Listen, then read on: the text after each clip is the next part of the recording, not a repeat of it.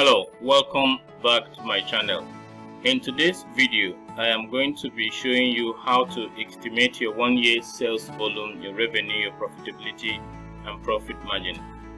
Um, for the Tony Elumelu Entrepreneurship Program specifically and any other business you want to be calculating on when you're doing your business plan, how to calculate your any of these numbers or figures um, that is showing here, your sales volume, your revenue, your profitability, and your profit margin. So this video is going to show you how you um, um, how you're going to arrive at these numbers, right? Step by step. Now this is going to be also practical. You're going to watch me do one, do this, um, this, do this whole estimation for one for one of the businesses I'm going to be showing you. So and if you want to get me you want to watch me do this you want because i believe that way it will be able to you will assimilate more than just me telling you how to do it.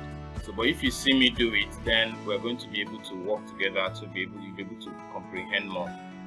So if you want to um, get the value from this want to watch me do this want to see how i'm going to you know move this thing from numbers to figures sorry and then convert to dollars and then paste it how I arrange it in the business summary template. You want to stay and watch this video till the end. Hi welcome to my channel. Um, if you're new to this channel this is Onuoha Gabriel and I make videos that help people navigate through the process of business starting up and making money online so anything business and um, digital marketing make money online and make videos around them in this channel so if you're interested in any of these topics kindly click the subscribe button and hit the notification bell so that you'll be the first to know each time I release a new video. That said, let's head straight to what the business of today is. Now, to be able to do this, I'm going to be needing a lot of tools. One of the tools is the calculator. Here is a calculator we have here. Then I have a Word um, document. I have the business summary template here. And then I have a, a draft work I already do. So I'm but I'm going to show you how to do this. And these are the tools we're going to be needing, you know, to be able to do this. So you need a worksheet, a, a place where you draft your work, which is um, this place I have here. And then you need a place, you know, your business summary template of course. Or of course if you're doing this for a business plan this may not be applicable. Okay. All right so let's get back to the work.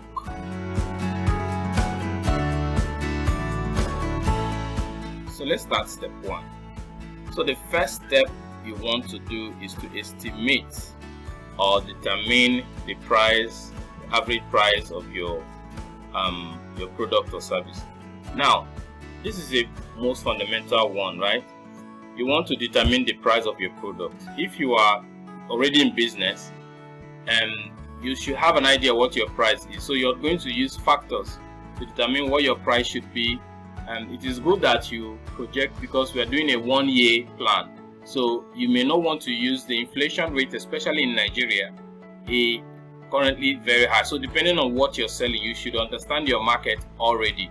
So that's why i use the word determine. So you want to put one or two figures factors around and then be able to know exactly what suitable price you should come up with. And if you are new if you are a new business um, you want to also do some background work do some research and then before you come up with a price then that is why i use the word estimate. So for you your own price is going to be an estimate because um really do not have a product that you're selling. So we'll say it's an estimate estimated price. Now you're going to come up with i already talked about this in a previous video. If you have several products your price is going to be an average all right? You're going to come up with an average price. And i've shown you how to do that in a previous video um you can link that video you can see the video I, will link that video to the description and i'll also put you will also see it at the top of um, this your screen right now if you want to go and check check it out but it's simply adding all the prices of your products your several products or services and then dividing them by the number of products or services that you have. So that's how you come out at an average price. So if you have one product, you're talking about price. That is the price. If you have more than one product, you're talking about an average price, which is um, the price of all of them put together divided by the number of products that you have. So that is it. The first step is get your price, estimate your price and get it right, right? Okay, so um, let's go and do exactly before we go to the step two. I, I believe I said this thing is going to be practical. So let's come to my price. So I've determined my average price for a product um, and I'm calling it a training service. Uh, assume it's a training service. Alright, that's the product I want to use. Um, a computer training service or whatever. So I've determined the price and I have also let's assume the price is 5000 naira okay so the price of this product is 5000 naira and that's the USD part is 12.02 um, two dollars zero four dollars. For Nigerian is 5000 naira. So I'm using current rate. So let's assume that's the price I've come up with. So that's the price of the product. You determine the price of your product you estimate it and you come up with that right? Secondly the second step would be to determine the operational cost of your products or services. So i think we are also going to need a notepad. So so that i give you i give a breakdown of how i arrived at operational cost so operational cost is all the costs involved in the production of your product or service. All the costs directly involved in the production of your product or services. So typically, you, you're talking about stock if you're selling an items. You're talking about your raw materials if you're producing anything. You're talking about your running cost if you are into service. All the costs that are involved in running your cost.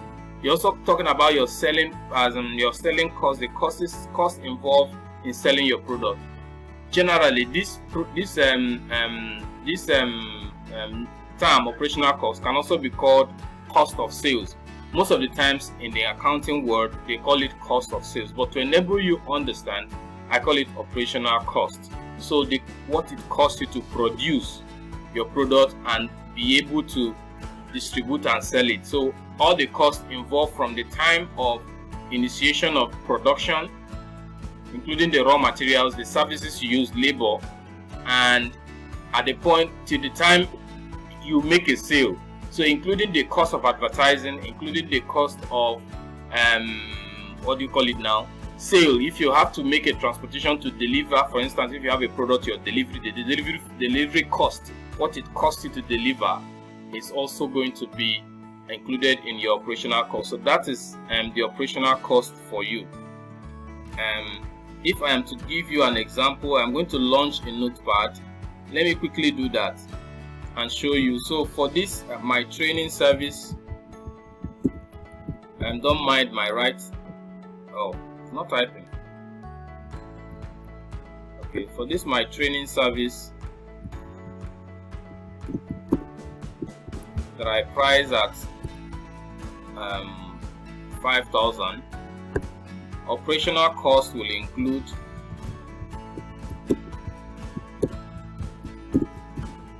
so operational costs will include let's say um, fuel I have to fuel a generator or pay for bills. So let's put everything as fuel. Um, I have fuel.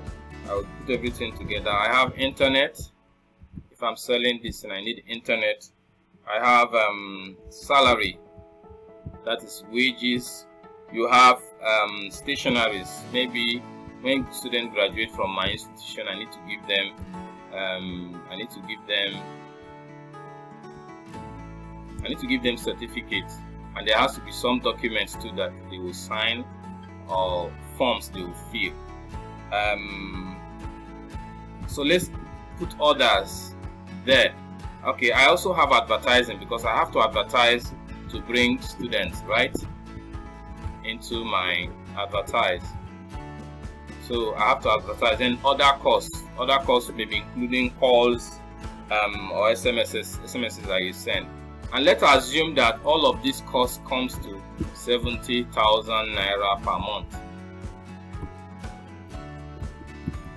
So that is my operational cost for um, the one service I am rendering. So I'm using one service. So assuming assume that that price is an average price. So let's make this put this into perspective. This is 5,000 naira. I hope you get my picture. So I've been able to get my operational cost. So this is my operational cost for um, the year. So let's go back to the class. So it says estimate and determine your operational cost for one month. So I have done that for one month. All right. So we continue and we say the next would be, which is almost the same as in step two, will be to calculate the operational cost for one year. So we have 70,000 naira as the operational cost. So you multiplied 70,000 or your operational cost now by number of months involved in the period. So if you're doing for 6 months, you multiply by 6. If you're doing for 1 year, you multiply by 12. If you're doing for 2 years, you multiply by 24. In this case, we are doing for 2 years. So you multiply it by and for Tony Elumelu Foundation specifically, you, you give them your first year operational figure. So that's what you're supposed to be giving. So if we are to do that, let's use a calculator now. This is where the calculator comes in. So I say 70,000. 70,000 times 12. Alright. So I have 840,000. So that's my annual operational cost. So I go ahead um, to go to my draft and I put my operational cost at this is my operational cost. So I, I have done the mathematics and I have arrived at a number which is um, 70 sorry 800 and um, 840,000 approximately approximately $2,022 but we are going to come to how we arrive at the dollar prices right now. So that one is another case on its own so um the next step is to determine the estimates or determine slash estimate the monthly sales volume for your product or services now you need to put in some thinking here in order to determine the, your sales volume the sales volume translates to the number of units of your product you're able to sell. You're able to sell in a month. And how do you come to this number? You just sit down for for those who are in business already. You're already running a business, so you already know how much you make in a month. So this will not be a difficult work for you. So all you need to do is to put factors that are within you into consideration. And factors like reduction in purchases, so you don't want to overestimate. So for those of you who are already in business, now for you who is new in business, there is little there is little you can do to be very accurate here. You may not be very accurate. All you need to do is to do your least possible number. If I and what I mean by least possible number is that if I wake up today and say I want to sell my um, training service, all right. If I wake up today and say I want to sell my training service, how many people can I sell to? How many numbers can I sell in a day? Alright, how many can I sell in a day? How many can I sell in a week? How many can I sell in a month? So you sit down, if you can sell one in a day, it means you can sell 30 in a month. Or the number of days you work. Remember, some people don't work on Sundays. Alright, so if you don't work on Sundays, you put that into consideration. So if you can sell um, three in a week, it means you can sell six in two weeks, you can sell nine in three weeks, and you can sell 12 in a month, right?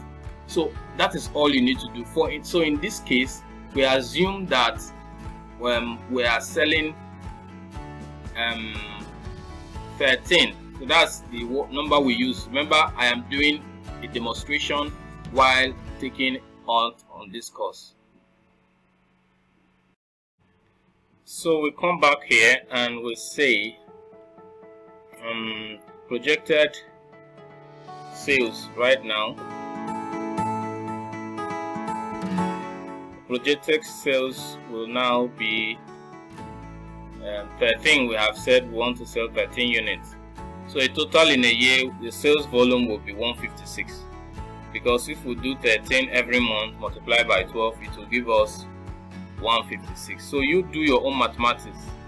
How many units can you sell in a day multiply it by the number of days you work in a day in a in a week and then multiply it by 4 to give you the number of um, um, uh, then depending on the number of weeks you have in a year but then averagely 4 weeks in a year. So you can multiply it by 4 you'll be able to get the number of um, um, what do you call it units you can sell volume of your product that's the number of units of your product or service that you can sell within a month.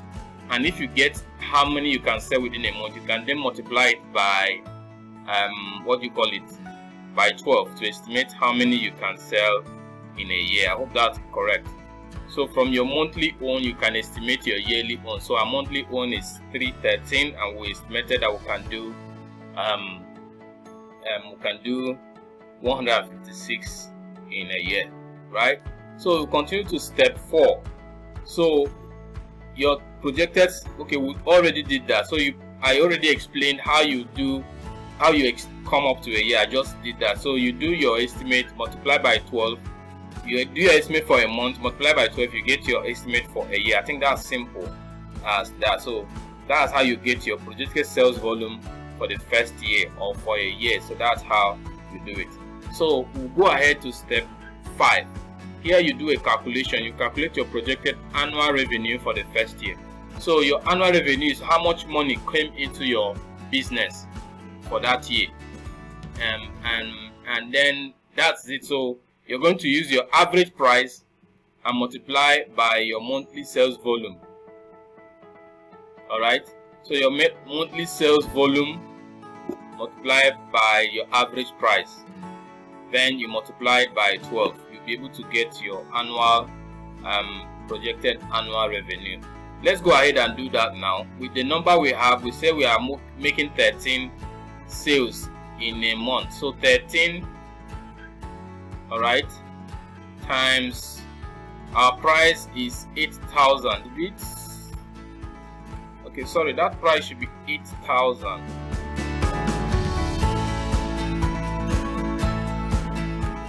much did we put? Let me be very sure. Okay 5000 so let's go ahead and do 5000 cancel this. 5000 times 13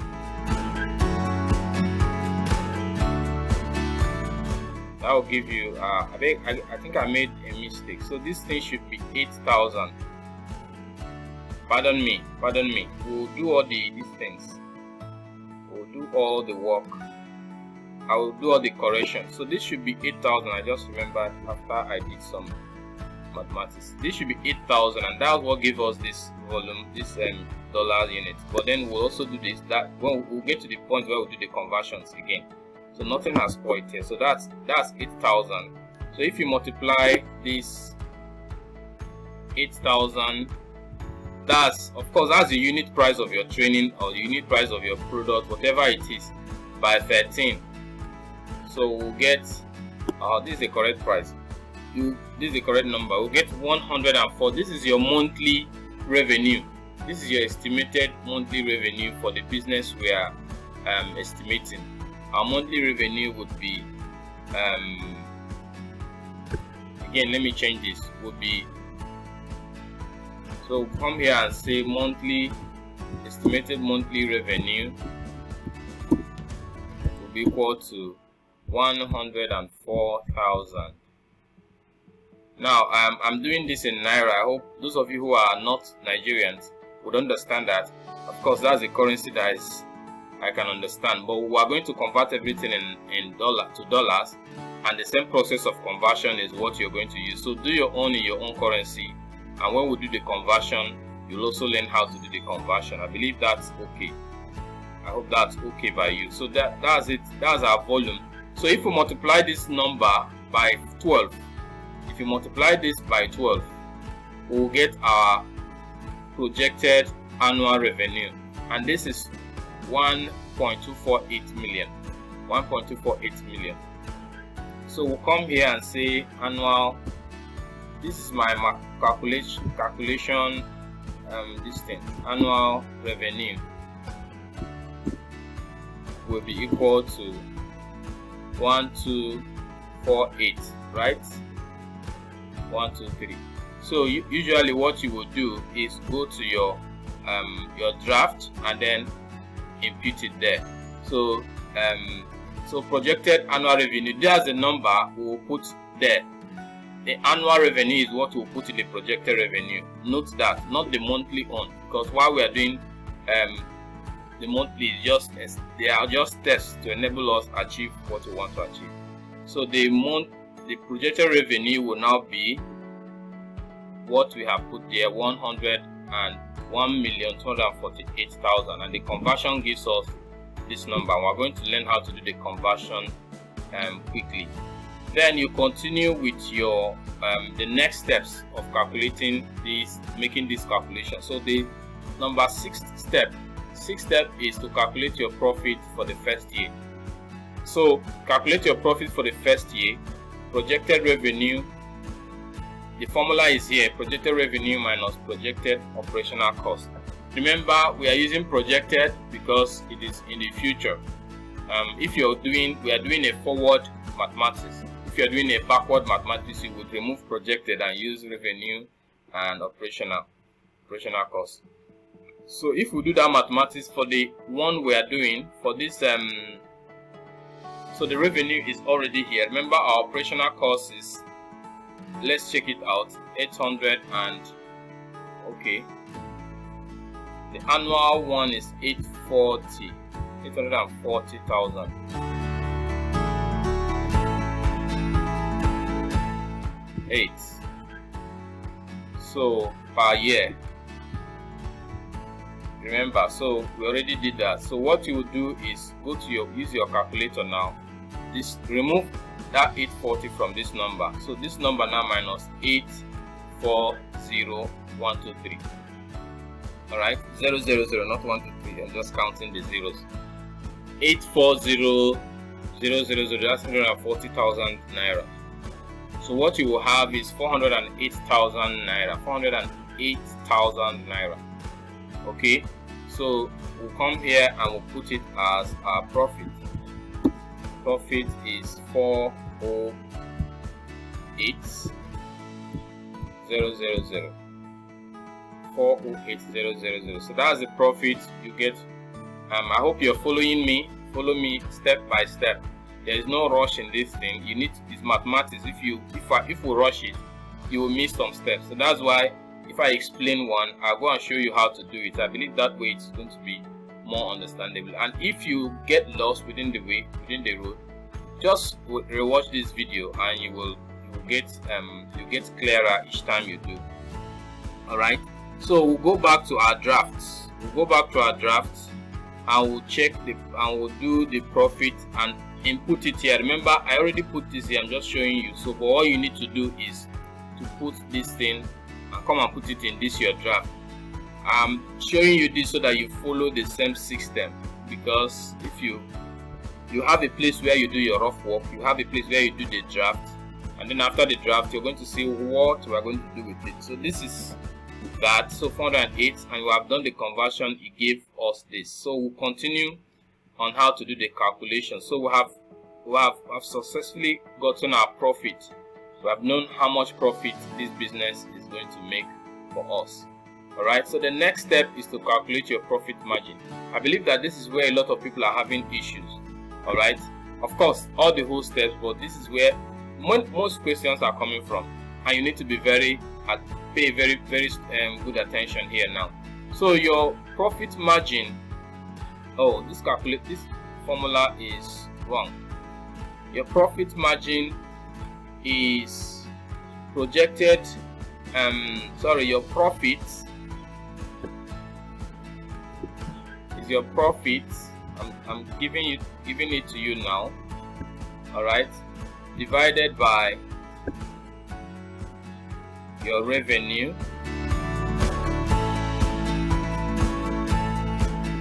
divided by your revenue. We already calculated all of this. Alright all of them multiplied by 100 so you can keep it in fraction. If you want to keep it in fraction you will leave it like this. You will remove multiply by 100 if you want to keep it in fraction so it will be 0 point something right? Because this profit is less than revenue so you understand that mathematics um, concept but usually it is in percentage. You can put it in percentage you can put it in fraction depending. But most of the times it is in percentage. That is why I multiply by 100 so this is the formula you you use. So let's go ahead and do just that. This is the profit here. Remember what our revenue was? 1 million 248,000 so you divide this by 1 million 248 no not 240 248 000 okay? So you get so this is the fraction 0 0.3 0 0.326 so you can you can approximate to 0 0.33 and you leave it as that. But the normal thing is the normal thing is to multiply by 100 and keep it in percentage. The 100 is meant to keep it in percentage. For when you multiply this number by 100 you will get 32.69 percent. So you can keep it at 32.7 percent right? Or 33 percent but 33 will be too much. So just keep it at 32.7 percent. Okay? So we go ahead into our rough um, notepad and say our profit margin is profit margin is 32.7 percent. So remember to always do the percentage. And then our draft we also indicate that our profit margin is 32.7 percent. Okay? So that's um that's about that. So this is how you calculate this. So let's go ahead and see what the next step is. When you have done this the step 7 is to convert all your numbers to dollars. Convert all your numbers to dollars. So um, we're not going to be doing all of them because of time. But I'm going to show you a simple way. Okay this is my Facebook logged on. I'm just going to open a new tab. And then we'll just come here and do naira to dollar. I have searched it several times. So this is it. You click on naira to dollar go to your listing so here you will see an already existing calculator that will enable you to calculate everything. So let's do this one after the other. Okay? So our which one should we start with? Let's start with this. Our training service our price is 8000 so let's go ahead and find out how much 8000 naira is in dollars. So you go to you type 8000 so the dollar equivalent is 19.26 19.26 so you come to your draft here and you say the okay you don't need to write it here. Go to your draft and do this one. 19 point so i was wrong then. 19.26 don't ignore don't leave this um uh, uh, what the fractions. Don't leave them. If you leave them you miss the number the dollar difference difference between naira and dollar is so massive. So even this dot dot this um, fraction can represent a huge amount of money. So don't ever leave that figure. So when you're putting make sure if it is 19.01 put it 19.01 19.26 put 19.26 so what we have is 19.26 so go ahead and find out how much is um, this is our price convert everything to dollars so your annual 840,000 is the operational cost for the year. So go ahead and convert 840 dollars sorry 840 naira to dollars 840 1 2 3 so you have 22 200 2022.68 so 2022.68 all right so this is um you copy the 840 look at the dollars equivalent here 20 sorry 2 um 2022 right? Um 0.68 like I said always carry the fractions the, the numbers behind the, the point the decimal place always carry them along in this calcul in your calculations okay? No um what do you call it? Approximation. Don't approximate with the dollar values. Don't approximate with the dollar values now um this is this is it. You do this for do the conversion to dollars for I've shown you how to do it. Very simple as you can see. Do it for the projected revenue do it for operational costs like we just did. Do it for the projected profit. So these three figures do the conversion in dollars. And of course do it for your price. Your price will be in dollars. So you can present this in like this depending on the, the number of words or you can present them in dollar but you can't present them in naira alone. In your local currency alone no.